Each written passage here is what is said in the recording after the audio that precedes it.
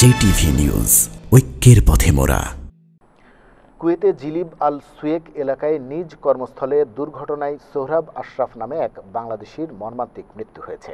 গত আঠাশ জুলাই জিলিব আল সুয়েকে গাড়ির গ্যারেজে এই দুর্ঘটনা ঘটে।